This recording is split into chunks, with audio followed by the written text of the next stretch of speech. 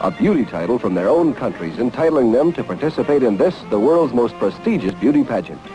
Their destination, Miami Beach, International Playground and home of the 1969 Miss Universe pageant. Representatives from over 70 countries descend on Miami Beach annually for this event, which over the years has become more than just a beauty contest.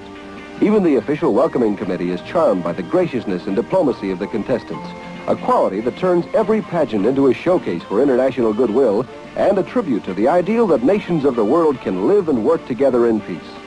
Once the greetings are over, the girls are whisked away in their official Avis cars to the beachfront resort hotels that will serve as their home during their stay. Hotels like the Shelburne, the Shore Club, the Algiers, the Fontainebleau, and the Monte Carlo. And before they know it, they're all caught up in the glamour that is the Miss Universe pageant. A beauty queen must look her best from the top of her head to the tip of her toes. Butler is the official shoe of the 1969 Miss Universe pageant. Butler shoes, a fashion favorite of the style-conscious contestants.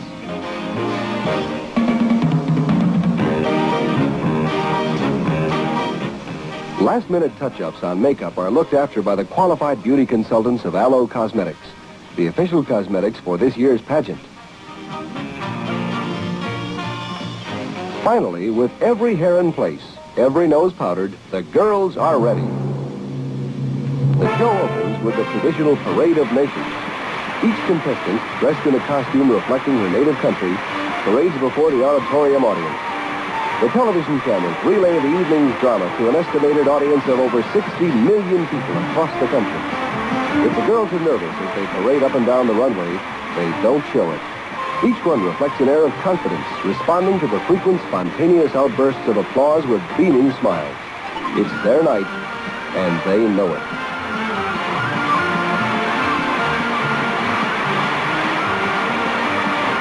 And so do the judges. The first special award of the evening, Miss Tunisia, is named Miss Amity by her fellow contestants.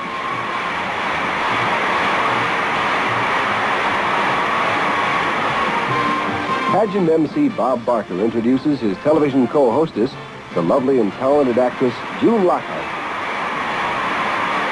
Another special award. Miss Universe Incorporated President Harold Glasser presents the trophy for the best native costume to Miss Thailand as the audience applauds the decision.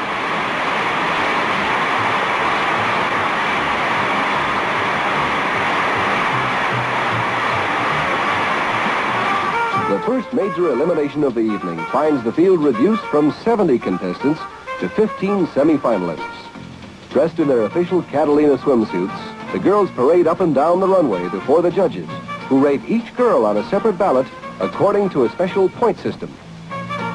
Points are accumulated for symmetry of figure, beauty, grace of carriage, and the judges recall the impressions they received about the contestants during their personal interviews. All these things shape the judge's decision, but for the audience, the decisions are usually much simpler. For most, they are based on a preference for blondes or brunettes, tall girls or short girls, on national loyalties, or a faint remembrance and feeling of kinship to some ancestral origin, or perhaps even on a well-timed smile from a contestant.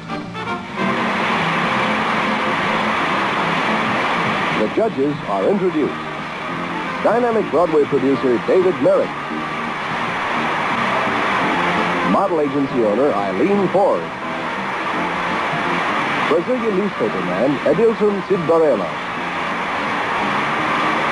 The former Miss Universe for 1962, Argentina's Norma Nolan Zanatti world-renowned Chinese-American artist Dong Kingman, Canadian photographer Joseph Hart, international public relations consultant Gino De Grande, former fashion model and cover girl from Guyana, Lady Sarah Carter, dress designer and design consultant from Japan, Madame Chiyo Tanaka, the talented Belgian actress Monique van Vooren, director of Belgian Tourist Bureau, Peter A. de Mayen, and popular syndicated newspaper columnist Earl Wilson. The final special award of the evening is presented to Miss New Zealand. Voted the most photogenic contestant in this year's pageant by the South Florida News Photographers Association. Association President John Foster makes the presentation.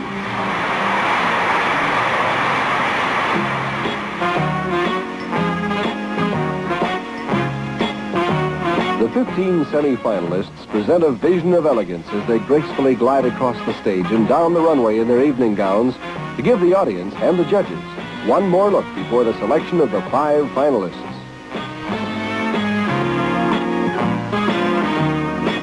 With such an array of lovely young women to choose from, the decision will not be an easy one.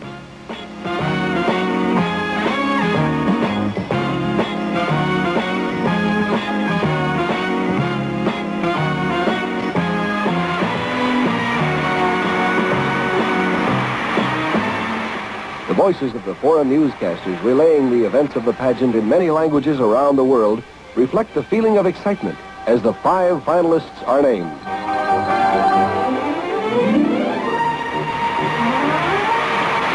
Miss Finland, Harriet Eriksson from Turku. Miss Israel, Shava Levy from Haifa. Miss Australia, Joanne Barrett from Melbourne. Miss Philippines, Gloria Diaz from Paranaque. And Miss Japan, Kikuyo Osuka from Nagoya.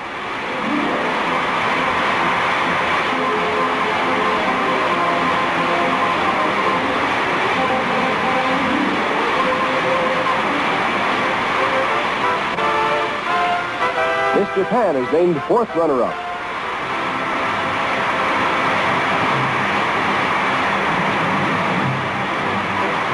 Miss Israel, third runner-up. Miss Australia, second runner-up. There's a suspenseful moment as both Miss Finland and Miss Philippines realize that one of them is the next Miss Universe. The foreign radio correspondents stand by to announce the name of the winner to a waiting world. And the winner is Miss Philippines, Gloria Diaz, a 5 foot 5 inch, 115 pound, 18 year old beauty from Paranaque, a suburb of Manila.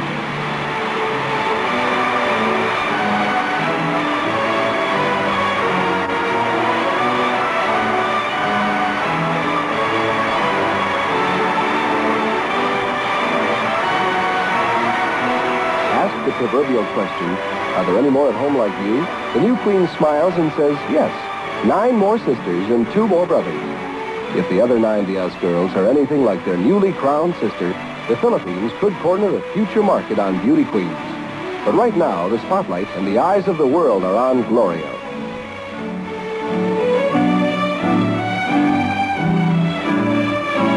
Along with the title and the honor of being Miss Universe, Gloria will receive a $10,000 cash award and a $10,000 personal appearance contract, plus many other gifts.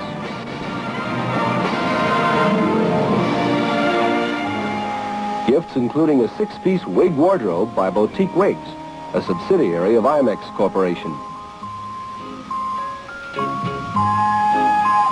And a $7,500 Tourmaline Emba Natural Pale Beige Mink Coat, designed by Donald Brooks for Kupchik Forest of New York, and presented to the Queen by the Emba Mink Breeders Association. But most important, as Miss Universe, Gloria will have the opportunity to travel around the world, making friends for the Philippines and promoting the cause of international goodwill.